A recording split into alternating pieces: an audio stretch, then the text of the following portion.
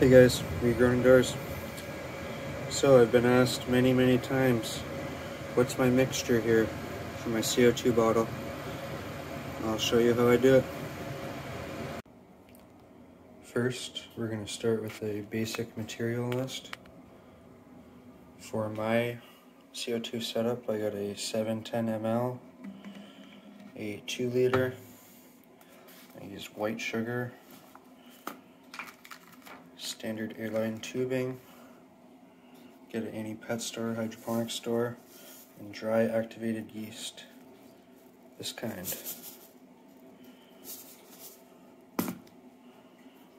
Now, as you see, I do not have my regular pop bottle lids. I 3D printed my own. But if you don't have a 3D printer, just melt the tubing through and seal it off with tape or glue or epoxy, however. But this is how mine goes, as you can see here. So you got the basic diagram. This is your output. This is your intake. So this will be the 2 liter. And this will be the 710. Now, for the mixture. Now first, we'll start with water. As you see, I'm using water, hot water, not RO. It's not extremely hot.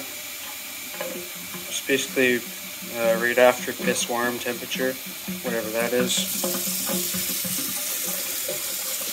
And there you are.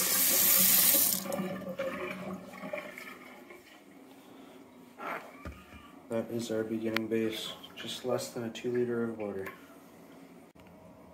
For the next step, we'll add two cups of white sugar.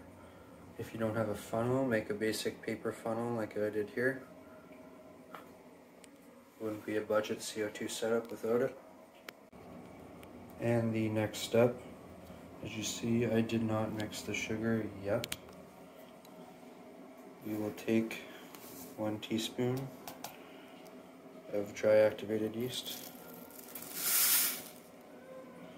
and drop it down the hatch.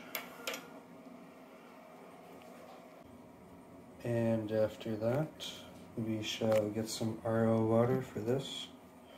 If you don't have RO water, just use basic tap water. I fortunately have RO. You're looking to get a RO unit, what I'm using here is a seven stage iSpring. Comes with this fancy faucet. And there it is down there. Now all we have left to do is bring the RO water and the unmixed yeast and sugar mixture along with homemade caps to the grow tent. And now we're back in the tent. First thing we want to do is put our devices together. So first, our intake.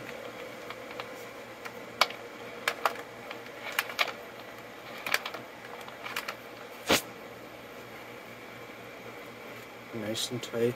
You don't want it to leak whatsoever.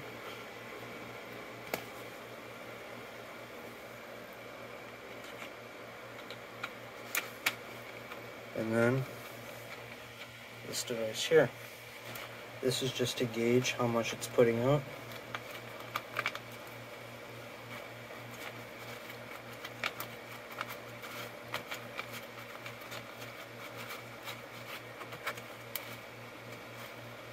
Nice and tight as well.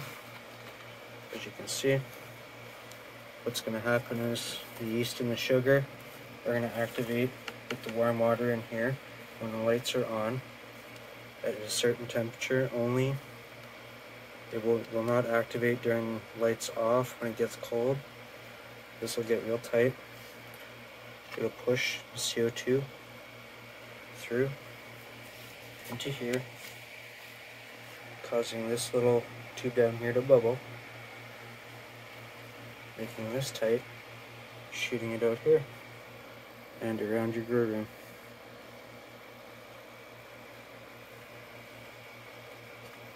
Now that everything's connected, the only step left is to shake this thing up. Now that it's all shooken up, as you can see here, it's got a creamy, weird moisture. It's basically creating alcohol, which hereby creates CO2. It's making this tight as we speak. It won't work right away. It takes about an hour to activate, give or take. And yeah, it'll shoot through here and it'll start bubbling and fill up your grow tent with CO2. I do not have a CO2 meter, so I do not know how much this puts out exactly. Although I do know it helps and it costs basically nothing. You can make as many as you'd like. I wouldn't overdo it though without having a CO2 meter. And yeah, thanks for all the feedback on this. That's the basic mixture. If you want to go the extra length, put something to tie these two together, maybe some tape or some wire, whatever. And another note, when you're shaking this up, make sure this is nice and tight. Pinch this line so you can shake it up real good. And don't let any of this into here. You want to keep this water clean. Once again, thanks for tuning in, guys. And happy growing, everybody.